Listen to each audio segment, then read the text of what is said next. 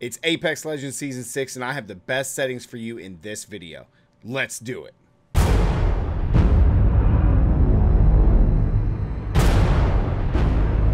Welcome back, Warriors, to another Apex Legends video. Today, I have for you my Season 6 Apex Legends settings for both console and PC. Now, my settings have changed a lot since my last video, but we're going to get into that all in this video. If you're new here, be sure to subscribe and join the Warriors so you don't miss out on all the tips and tricks to improve your Apex Legends gameplay.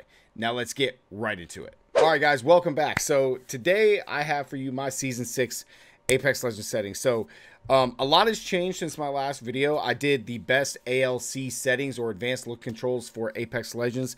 Now, I've incorporated those on both my PC account and my PS4 account. My names will be linked down in the description below, guys. But um, we're back on my PS4 account, and I'm just going to show you what my settings would be for PC when we get to it. But we're going to go into this and break everything down. So let's go ahead and hop into settings, guys. Now, I'm not going to go into full detail on everything, but maybe just the most important stuff. Um, but not as far as the gameplay and video and audio settings, these really haven't changed too much from my last video. But I do want to touch on these again. The biggest things is going to be down into the sensitivity and whatnot under my controller. So uh, going over the biggest things is crosshair damage feedback, X with shield icon. You just want this. It shows their the what level shield that they have, what color it is, and then it gives you an X for when you have your hit markers. Okay, guys. So make sure this is on. This is very important information to have when you're fighting, you know, an enemy. So it tells you what color shields you, they have, and and it shows the the X on the crosshair to, to you know tell you that you hit them. So on top of that, damage numbers. Um, a buddy of mine that I recently started playing with on PC had this on floating, and he had trouble. Um, you know, and it's not a bash against him, but he had a lot of trouble with calculating how much damage he was actually doing. I had him change it to stacking, and it's helped him out immensely. So, guys, put this on stacking. The reason why is because when you're hitting somebody, with let's say 10 bullets, right? Or 5 bullets. It's going to give you the total number of damage that you've done with those 10 bullets or 5 bullets or however many hits that you got with that, you know, the, that shot. And this can help you tell your teammates, "Hey, I did 90 damage to him. Crack the shield or I'm doing oh, I did 16 flesh." Whatever the case may be. Put it on stacking guys. It's going to change your life. I've seen some people, you know, in um in some videos or clips use both. That's insane. It takes up way too much of the screen, guys. I advise just keeping on stacking. Doesn't take too much of the screen and gives you an exact number, okay? Um, obituaries on, I just like that. Weapon cycle, auto cycle. This is the other big one.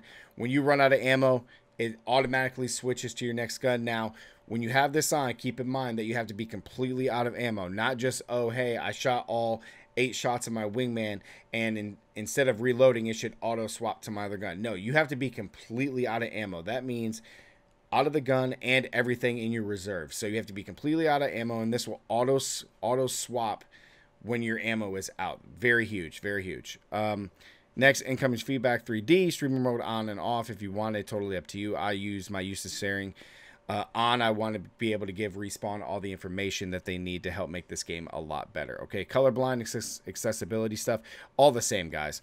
Um, I'm a video. I have changed my field of view. I used to play on 110, uh, but now I changed it down to 104. The sweet spot for me is anywhere between um, really 90 and 110. Um, I would start at 90 guys and just keep going up. Um, a lot of people play on 110. That's totally up to you.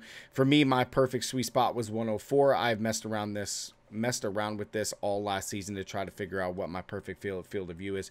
For me, it's 104 guys. Feel free feel free to try it out. Let me know down in the comments how it works out for you. Um, but yeah, definitely mess around with this. Start with 90 and just go up with um, small increments. Sprint to view shake, guys. This should be off.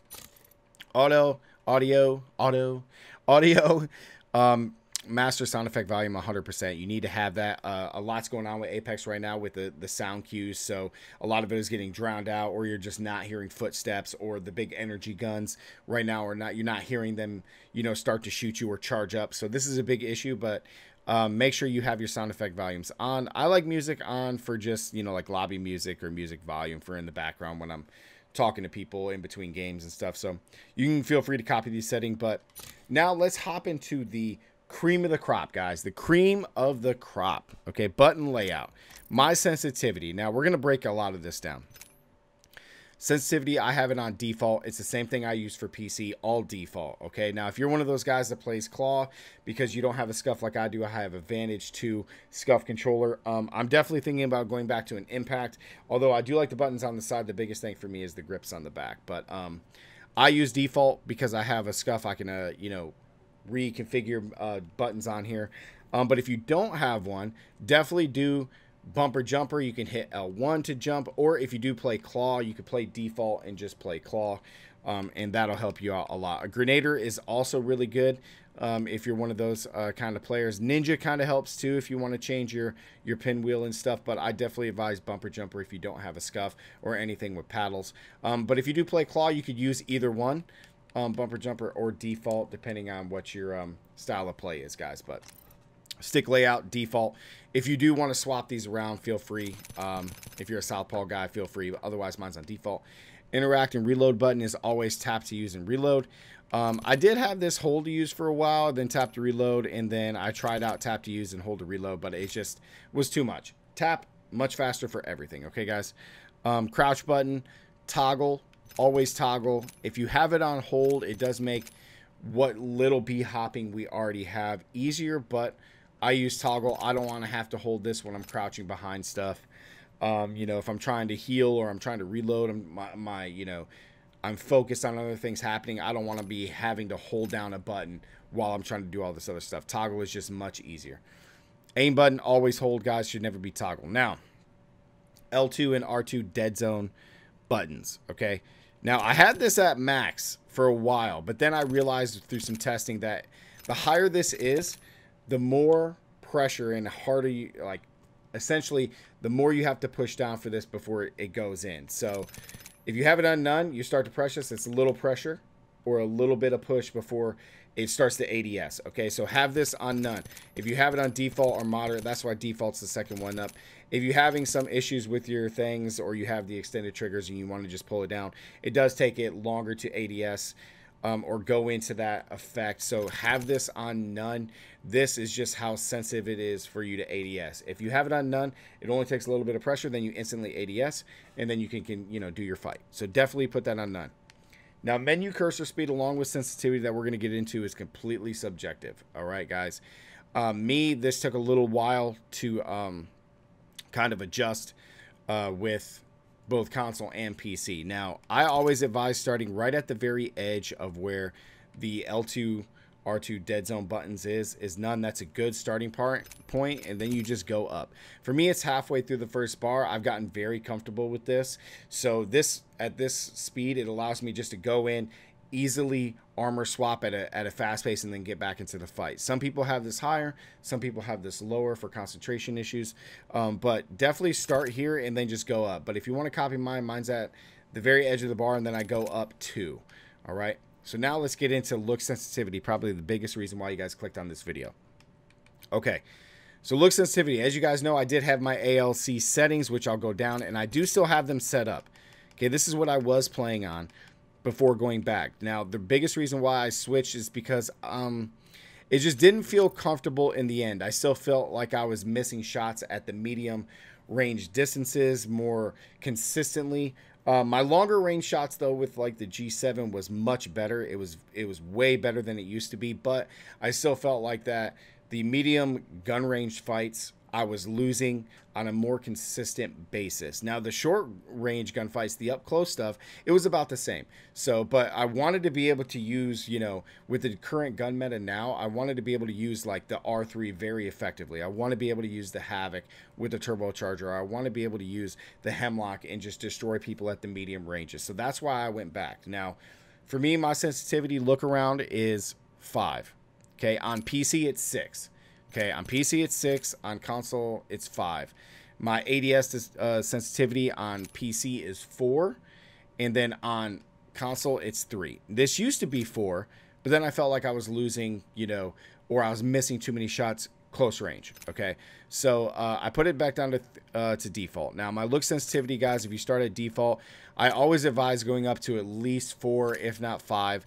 I would stay somewhere between four and six for um, a look sensitivity. This just feels really good. Mine's in the middle. This allows you to whip back and forth really, really good. If it's too slow, you know you're going to have a hard time tracking people you know you're going to have a hard time maybe not tracking people i'm sorry but you're going to have a hard time just trying to whip around look around and move effectively so you want to be able to whip and slide jump or whatever the case is wall jump so i have mine on five i would definitely advise everybody to start at four and just go up from there ads sensitivity again mine is default three you will see all the pros there is not a lot of pros that are super high six or even five a lot of pros are at four or three if especially if they're on the controller.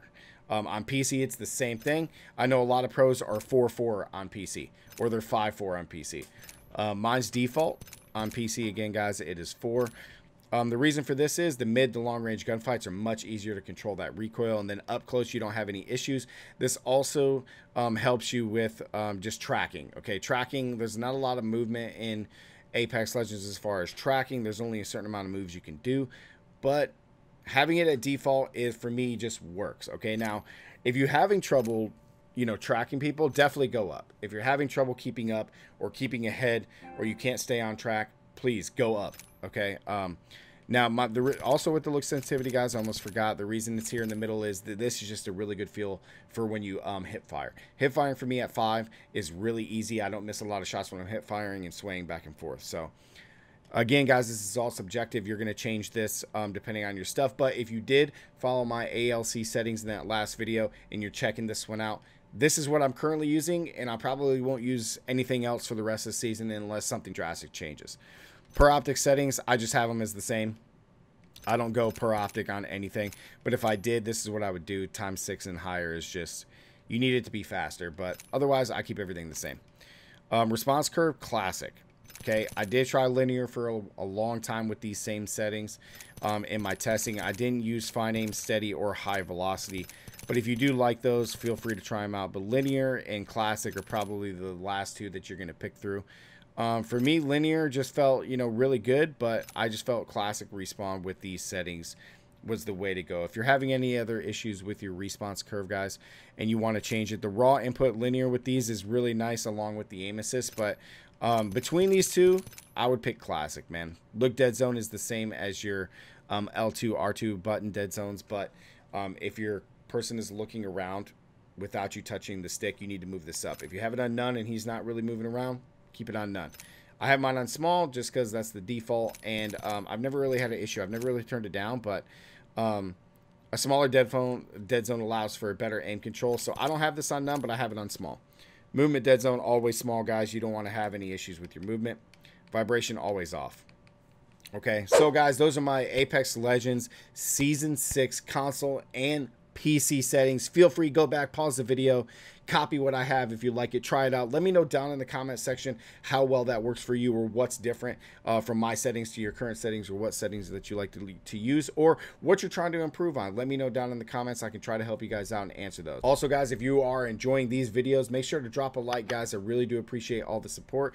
If you're new here, be sure to subscribe and join the Warriors so you guys get all the tips and tricks to improve your Apex Legends gameplay. And as for me, Warlug, as always, guys, stay gaming. I'll catch you in the Apex games. Peace.